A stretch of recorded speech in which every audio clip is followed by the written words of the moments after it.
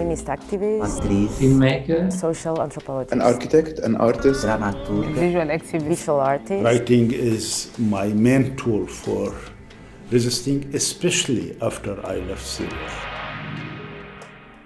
Mobile Library Network. A design studio. A research center. Rojava Film Commune. Un projet des cours de danse pour les habitants des favelas.